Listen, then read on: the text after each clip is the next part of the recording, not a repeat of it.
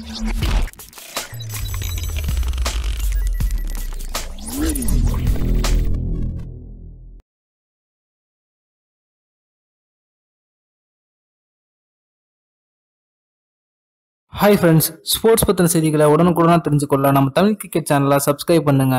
இந்திய அணியில் இரண்டு வருடங்களுக்கு பிறகு வேகப்பந்து வீச்சாளரான ஜெய்தே உனட்கட் ஆஸ்திரேலியாவுக்கு எதிரான ஒரு நாள் தொடரில் இடம் பிடிக்கிறதுக்கான வாய்ப்பு அதிகமாகவே இருக்கு. அதை பத்தி நாம எப்போ பார்ப்போம்? உலகக்கோப்பை தொடரானது மே மாதம் இறுதி முதல் தொடங்க இருக்கிறதுனால அனைத்து கிரிக்கெட் அணிகளுமே சிறப்பான முறையில் தயாராகி வந்துட்டு இருக்கு அதே போல இந்திய கிரிக்கெட் அணியில அனைத்து முன்னணி வீரர்களும் தொடர்ந்து விளையாடி வருவதன் காரணமாக அவர்களுக்கு ஓய்வு வழங்கப்பட்டு உலகக்கோப்பைக்காக சிறப்பான முறையில் தயார்படுத்தப்பட்டு வருகின்றனர். அதே மாதிரி பாத்தீங்க அப்படின்னா நியூசிலாந்துக்கு எதிரான மூன்று போட்டியில் கொண்ட டி டுவெண்டி தொடரில் இந்திய கேப்டன் விராட் கோலிக்கு ஓய்வு வழங்கப்பட்டுச்சு. அதே போல ஆஸ்திரேலியாவுக்கு எதிரான ஒரு நாள் தொடர்ல பாத்தீங்க அப்படின்னா இந்திய வீரரான ரோஹித் சர்மாவுக்கு ஓய்வு வழங்கப்படும் அப்படின்னு எதிர்பார்க்கப்படுகிறது. அதனைத் தொடர்ந்து இந்திய அணியின் தொடக்க வீரர்களாக கே எல் ராகுல் மற்றும் அஜிங்கிய ரஹானே ஆகிய இரண்டு பேரும் களமிறங்குவாங்க அப்படின்னு எதிர்பார்க்கப்படுகிறது. உலகக்கோப்பையில இந்திய அணியில வேகப்பந்து வீச்சாளர்கள் அப்படின்னு பார்க்கும்போது ஜஸ்பித் பும்ரா புவனேஸ்வர் குமார் முகமது சமி ஆகிய மூணு பேர் வந்து கண்டிப்பா இருப்பாங்க அப்படின்னு தெரிய வந்திருக்கு. மேலும் இவங்களுக்கு கூடுதலா ஒரு வேகப்பந்து வீச்சாளர் இந்திய அணிக்கு தேவை. அப்படி பார்க்கும் பார்க்கும்போது கலீல் அகமதை இந்திய அணிக்காக தேர்வு செய்யறதுக்காக அவருக்கு நிறைய வாய்ப்பானது வழங்கப்பட்டுச்சு. நியூசிலாந்துக்கு எதிரான தொடர்ல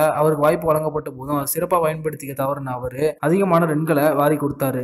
அதே போல அவரோட பந்து வீச்சானது எதிரணி பேட்ஸ்மேன்களுக்கு எந்த ஒரு விதத்திலையும் குடைச்சல கொடுக்கல. அதனால ஒரு சிறந்த போலரை இந்திய அணிக்கு தேர்வு செய்யணும் அப்படிங்கிற ஒரு காரணத்துக்காக ஆஸ்திரேலியாவுக்கு எதிரான தொடர்ல பாத்தீங்க அப்படின்னா ஜெய்தேவ் உணர்கட்டை தேர்வு செய்யலாம் அப்படின்னு ஒரு ஐடியால இருக்காங்க. அது ஏன் அப்படின்னா ரஞ்சி தொடர் முழுக்க மிகவும் சிறப்பா பந்து வீசின ஜெய்தேவ் உணர்கட் தற்போது ஒரு அற்புதமான ஃபார்ம்ல இருக்காரு. இதனால அவர் ஆஸ்திரேலியாவுக்கு எதிரான ஒரு நாள் தொடர்ல எடுக்கிறதுக்கான வாய்ப்பு அதிகமாகவே இருக்கு. இந்த ஒரு நாள் தொடர்ல அவர் சிறப்பாக செயல்பட்டாருன்னா இந்திய அணியின் கூடுதல் வேகப்பந்து வீச்சாளரா இந்திய வேர்ல்டு கப்ல அவர் இடம் பிடிக்கிறதுக்கு அதிகமான வாய்ப்பு இருக்கு. அதே போல ஆஸ்திரேலிய அணிக்கு எதிரான ஒரு நாள் தொடர்ல பாத்தீங்கன்னா விஜய் சங்கருக்கு வாய்ப்பு அளிக்கிறதுக்கு அதிகமான வாய்ப்பு இருக்கு. இந்த வீடியோ உங்களுக்கு பிடிச்சிருந்துச்சுன்னா லைக் பண்ணுங்க ஷேர் பண்ணுங்க. நன்றி.